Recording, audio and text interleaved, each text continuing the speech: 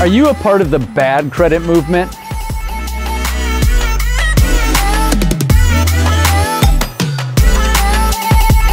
Bad credit limits you in two critical ways.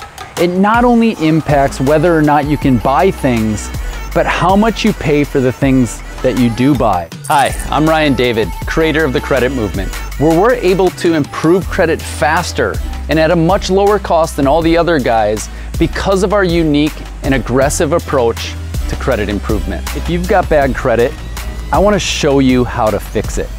If you want to live the life that you deserve, I would love to help you. If you're ready to get in a position where you're not dealing with the embarrassment of being turned down for things or paying high interest, or you want the house that you deserve, I would love to help you.